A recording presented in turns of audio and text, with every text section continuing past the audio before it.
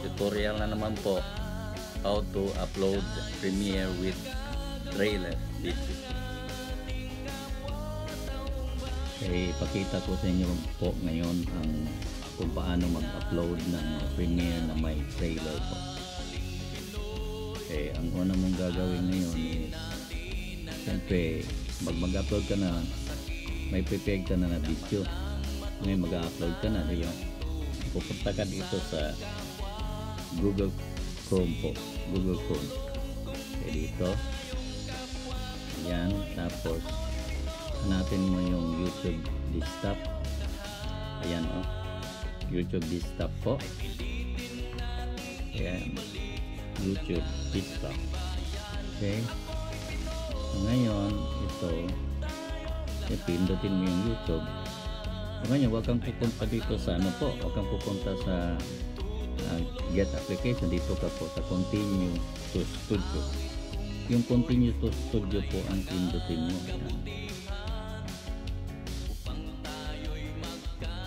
Ayan, so kailangan maglalagin ka dyan kasi ako nakalagin na ako. So ganyan na yung hitsura ngayon sa ano ganito na yung hitsura okay so hindi ka pumasok dun sa application kasi iba yung hitsura ng application po. So di, ganito yung hitsura pag uh, nakalagin ka na sa ano dito sa Google Chrome. So ngayon ang gawin mo kasi mag-upload ka ito yung hanapin mo ito yung upload na ano dito symbol. Pilotin mo yung upload symbol. Ayan. Okay? Siyempre lalabas yan. Ito so select video ka ngayon. Yan lalabas dyan library. So ito dito ka sa library kasi nandun yan sa file video mo. So magsiselect ka na ngayon ng video ngayon kung anong, anong video na pipiliin mo.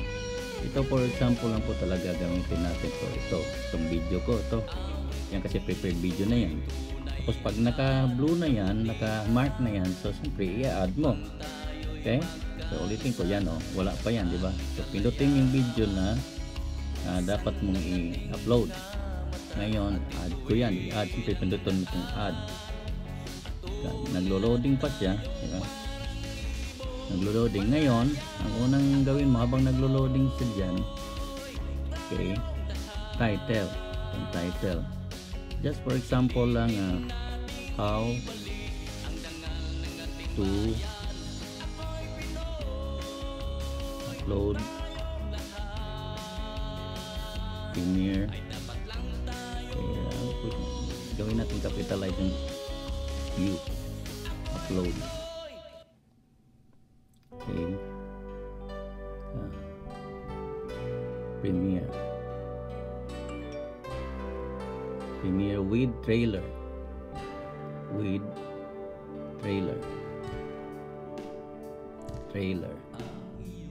Yan po how to upload Premiere with trailer yun na yung title niya okay done ko na yan katapos idadaan ko done ayan okay done na so ang next dyan is yung ano po yung mahirap kasi dito kailangan mo paliitin okay so, pupunta ka doon sa i-turn ko lang yan pwede rin i-turn turn mo yung cellphone mo ayan itong ano po puntahan mo itong yung thumbnail so pwede ko rin ganyan yung uli tingnan ko paliitin kung lalabas siya.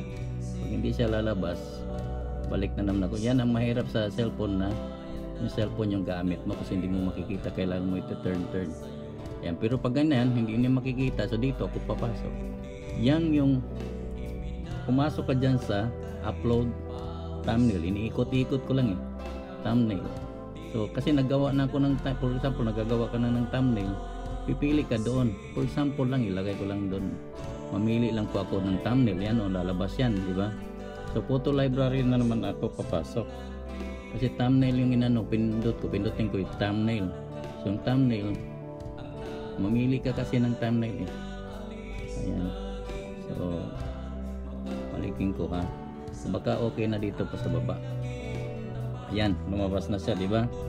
So ito pindutin mo yung thumbnail thumbnail yan library punta ka sa library ngayon okay just for example lang ito ito yung thumbnail ko kay bali yan yan na lang for example muna okay so thumbnail Yan, for example, na yung thumbnail ko. Yan na. Okay. Naglo-loading siya. Okay.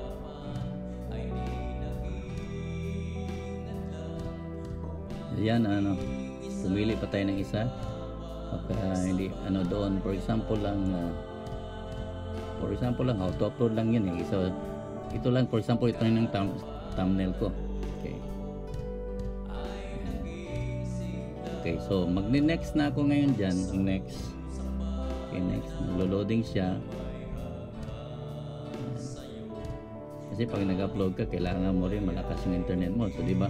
Yan, kasi monetize ako, kailangan ko i-on to. I-on ko tong i-on ko tong money, monetize ano. Kasi pag hindi ka monetize, hindi mo i-on. I-on ko to yun. I-on ko yan kasi kailangan ko kasi monetize ako yan. On ko yon So, nakaano na yung ano niya, ads niya. So, diretso na ako doon. Yan dito, in case lang kailangan mo yan, mga video elements, ayan, wala naman yan, di ba? So, mga ad cards. So, next mo na naman dito sa baba. Ayan. Yan na yun, di ba? So, ngayon, pipindutin ko itong, ano, itong uh, public. O kung gusto mo yan listed yung video mo, magso-surprise premiere ka, pwede rin. Ang surprise premiere kasi kailangan mo naka-unlisted yung ano mo.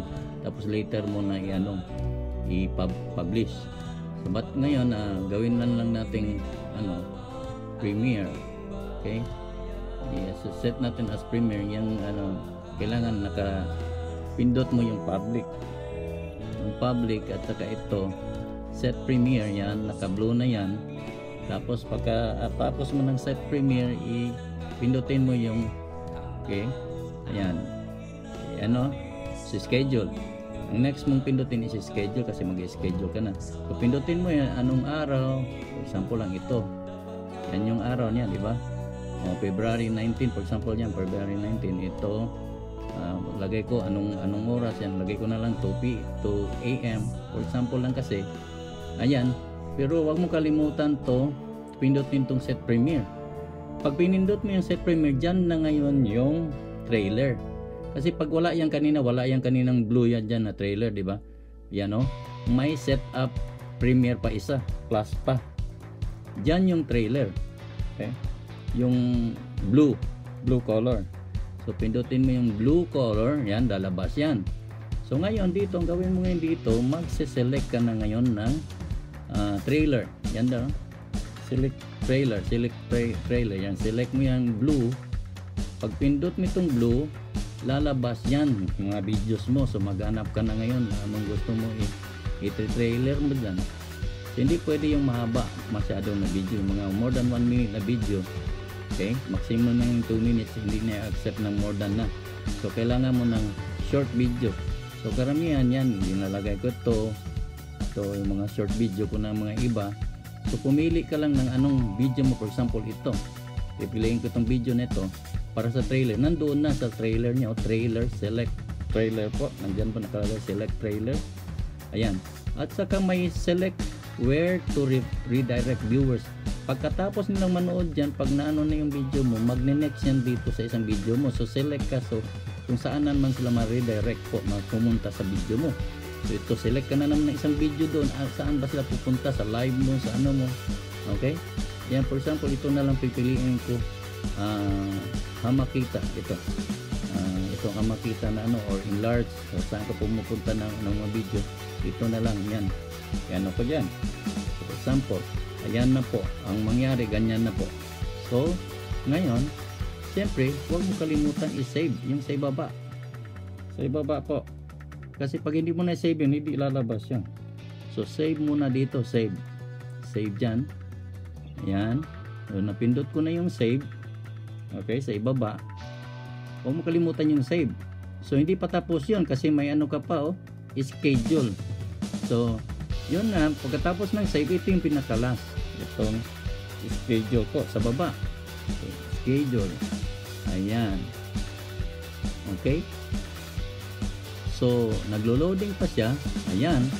Ang last niyan ito. Tapos na yun. Nandoon na yun. Nag-upload na yun siya. So dito. Tapos mo na yan. Tapusin mo yan. Pag tingnan mo yun dito sa live mo na ah, yung videos mo sa videos pumunta ka ron sa live ah, sa upload upload pala yan sa upload. Dito yung sa upload po. Okay? So mag-upload na ngayon ngayon yung video mo. So dito nandito no siba nakalagay how to upload. Nandyan na po siya how to upload trailer. O naka-premiere na po siya nagche-check pa po siya checking pa po. Ibig sabihin on process pa po siya. So ngayon yan yung mangyari. So kung tingnan, tingnan mo yung mga videos mo ngayon ang mangyari na ngayon sa mga videos mo may premiere na may ano na po siya trailer. Pag pupunta ako sa premiere ko po pupunta ako sa mga premiere ko dyan. For example June Bagondol na premiere.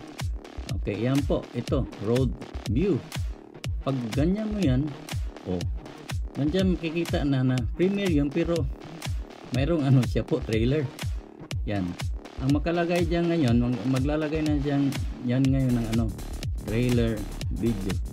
Okay? Ayan oh nakalagay na trailer po. Trailer na video. Nakasulat dyan trailer video. Okay? So God bless everyone. Salamat po sa panonood nyo